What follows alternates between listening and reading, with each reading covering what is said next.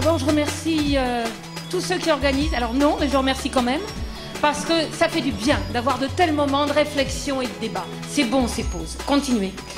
Et je voulais vous dire que j'ai traité le sujet comme je l'ai ressenti, juste comme je suis, sans autre prétention. Ce n'est qu'un regard sur le sujet, une réflexion locale, mais qui peut avoir, en tout cas je l'espère, des applications beaucoup plus globales et nationales. Et maintenant. Quand Jean Brousse m'a dit, c'était au téléphone, et maintenant Ma réponse immédiate, spontanée, inconsciente a été Et maintenant, que vais-je faire? Oui, maintenant que tu es parti. Est-ce que maintenant que François Hollande, l'homme politique qui a marqué la Corrèze après Jacques Chirac, maintenant que François Hollande est président de la République, va-t-on tout attendre de lui pour la Corrèze, pour la France, pour le monde Ce serait bien mal connaître les Corréziens, résistants dans l'âme, mal connaître les élus ici, puisque je parle du point de vue de l'élu, formés à l'école Hollande.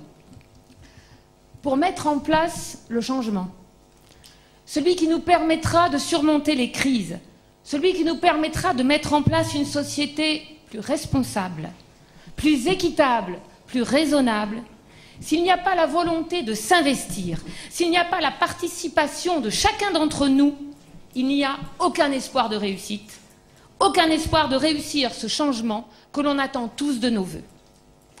C'est pourquoi à la question de Jean Brousse et de l'équipe, je réponds Et maintenant, que chaque élu désigné par le peuple, que chaque citoyen, ici comme ailleurs, aussi modeste soit-il, réfléchisse, propose et agisse. Et de même que les gouttes d'eau font les rivières puis se jettent dans la mer, de même, chaque citoyen, chaque élu, avec les moyens dont il dispose, fera le changement. Aux élus de démontrer, même s'ils sont si injustement décriés, aux élus de démontrer qu'avec quelques principes, avec une vision à moyen ou long terme, avec une foi laïque en l'avenir, avec la participation de la population, ils peuvent être force de proposition et porteurs de solutions. On ne subit pas l'avenir, on le fait, écrivait Bernanos. Eh bien, allons-y maintenant. Vous allez me dire parole, parole, rien que des paroles. À quand le concret Certes, ce sont que des paroles, mais ne sont-ce pas les mots, ne sont-ce pas les idées qui ont fait les révolutions? Et les paroles sont là aussi pour être mises en musique. Et c'est ainsi que nous avons décidé, dans la commune dont je suis maire, Userche, de faire de notre souci majeur la fermeture d'une usine, une papeterie, notre plus bel atout, la naissance d'un quartier. Je vais vous en raconter l'histoire. En mai 2006, coup de tonnerre. Dans le ciel de notre territoire, la papeterie ferme. Cette papeterie, qui était née en 1830 d'un simple moulin à papier familial, était devenue l'épine dorsale de notre vie économique, le réseau irriguant de tout notre tissu social. Elle faisait partie de notre histoire. Eh bien aujourd'hui, elle doit devenir notre mémoire. Non pas que cette entreprise perdait de l'argent, mais ses bénéfices, il est vrai, n'atteignaient pas tout à fait les deux chiffres économiquement corrects. Et pour un groupe international, il est de bon ton de se débarrasser de ce type de satellite, peu importe qu'il fasse vivre ou ne fasse pas vivre un, tout un territoire. À leurs yeux, aux yeux des grands groupes, c'est ainsi. Dans notre économie Kleenex, qui est devenue l'économie internationale, on fait le ménage. Quel devenir allions-nous, devions-nous donner à Userche, surnommé la perle, devenir qui, après réflexion, ne pouvait s'appuyer que sur les problématiques propres à notre 21e siècle? Le premier, l'environnement et la transition énergétique, c'est-à-dire économiser plus et produire autrement. Le second, une économie plus équitable, trouvant sa place entre un libre-échange et un repli sur soi. Et le troisième, le dernier, un lien social construit sur une redéfinition du vivre ensemble, permettant plus de justice entre les individus et les territoires. Trois axes de réflexion, trois pistes de travail sur lesquelles nous avons échafaudé un projet avec un postulat de départ qui est la culture. La culture comme ferment de l'éducation et de l'enseignement, la culture comme outil de développement économique, la culture comme chemin de liberté des individus. Celle dont Jean Monnet disait Et s'il fallait recommencer l'Europe, je commencerai par la culture. Et François Mitterrand ajoutait C'est précisément en période de crise que la culture est prioritaire. Voilà comment nous est née l'idée d'un écoquartier. Proposition pour un autre modèle environnemental, économique et social, certes local, mais qui peut avoir des rayonnements beaucoup plus importants. Nous étions un petit peu hésitants au départ. Un appel à candidature s'est fait. Plus de 80 cabinets d'architectes internationaux ont répondu à l'appel. Villemotte fut l'élu certes pour la qualité de son geste architectural, mais aussi et surtout parce que sa proposition mêlait respect du patrimoine et création, transition énergétique et innovation technologique. Ce qui est bien le moins, vous allez me dire, pour une petite ville durable, comme est désignée Userge par l'État. Et à travers sa proposition, la filiation entre ce qui fut, ce qui est et ce qui sera devenait une évidence et était le propre de la philosophie du projet de notre quartier. Un simple rappel que la création d'aujourd'hui sera le patrimoine de demain. Rappel que l'on ne renie pas le passé, mais que l'on s'en nourrit.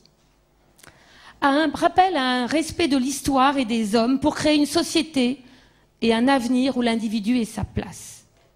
C'est pour ça que dans Saint-Écourt-Quartier, et je balaye rapidement, vous allez trouver dans le domaine plus spécifiquement culturel un espace, espace muséal avec pour thématique le paysage, le paysage au sens large, architectural, paysage lui-même, avec euh, une programmation qui a été compensée par un collectif, un collectif d'artistes qui s'est emparé du projet, un chorégraphe, un metteur en scène, un chef d'orchestre. Toujours dans le domaine de la culture, un pôle beaucoup plus scientifique pour apprendre à lire un paysage, une association régionale qui est là depuis longtemps. Et puis un espace lié au papier, parce que notre mémoire, toutes ces techniques du papier étaient importantes. Si le premier axe concerne la culture en tant que mémoire, création et transmission, le deuxième pose la question de savoir comment faire du développement économique en s'appuyant sur la culture. D'autres villes l'ont fait bien avant nous. Je pense par exemple à La Rochelle. Pour cet écoquartier, l'économie a été réfléchie en fonction des besoins et des réalités du territoire. On a souhaité faire de la haute couture. Le but étant de faire de chacun de nos points faibles un atout, afin de créer des emplois, de créer une véritable dynamique dans des domaines aussi variés que ceux du tourisme, où on est très en retard, des circuits courts, où il y a beaucoup à faire, et de tous les métiers d'art, par exemple. D'où la création d'une résidence de tourisme, la volonté de favoriser tout un ensemble de maraîchers bio, de jardiniers, de travailler avec nos lycées agricoles et d'aller de la production jusqu'à la création, puisque euh, les restaurants qui seront sur le site pourront bénéficier des produits bio, ainsi que les écoles, ainsi que la maison de retraite.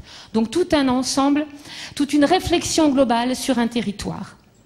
Et puis tout un travail également auprès des artisans d'art, parce que ce sont des créateurs sur un territoire, en les aidant à s'installer, en leur offrant la possibilité de transmettre leur savoir-faire dans des bâtiments qu'on a, commencé à restaurer à cet effet, et en travaillant principalement sur des thématiques qui sont nos thématiques régionales. Je pense à la céramique, je pense au bois, je pense au design, etc. Et qui est tout un travail de transmission avec nos jeunes, la formation.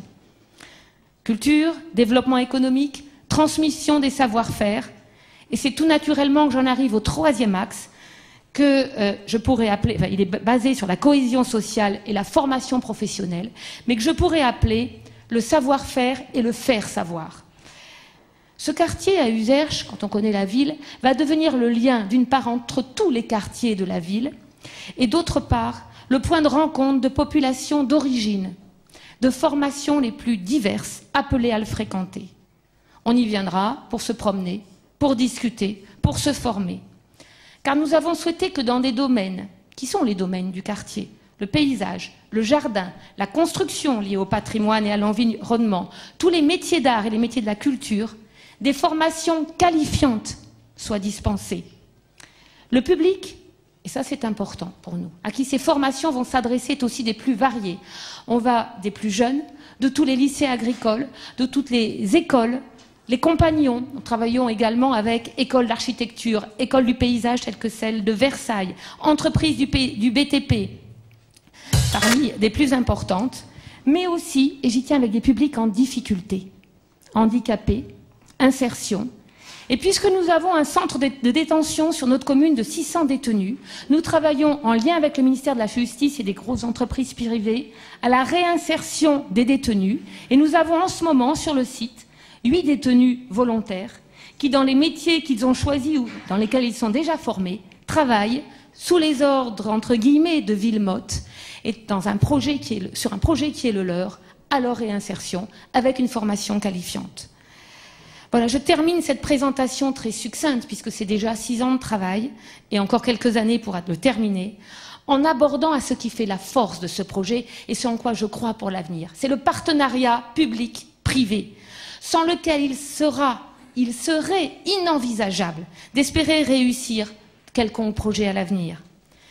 Et l'adhésion qu'a suscité le projet, au fur et à mesure que je l'ai présenté à des très grands groupes, je pense à quelqu'un comme Gérard Mestralé, chez DF Suez, au président de Sodexo, aux responsables des collectivités, au monde associatif, chaque fois, j'ai eu un accueil enthousiaste et ces chefs d'entreprise se sont investis dans le zéro seconde, se sont investis.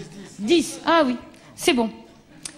Tout un ensemble d'artistes également, donc je ne les citerai pas. Et pour conclure, maintenant, vous, savez où j'aimerais aller et où j'aimerais vous emmener. Et j'espère avoir pu vous convaincre qu'il était temps d'être responsable, que le rôle d'un élu, en concertation avec les citoyens et avec les forces vives d'une nation, c'était de faire des propositions allant dans le sens de l'intérêt général, d'apporter des réponses aux questions que nous nous posons, de redonner confiance en l'État, en chacun, en nous. Et maintenant, il est temps d'avoir les pieds sur terre et la tête dans les étoiles. Quand on peut le rêver, on peut le faire, disait Kennedy avant d'attaquer la conquête de la Lune. Alors partons, réinventons, proposons autre chose à ce monde qui se délite et surtout, surtout, ne renions pas la part de rêve qui est en nous. Il vaut mieux rêver sa vie que la vivre, encore que la vivre soit encore la rêver. Marcel Proust.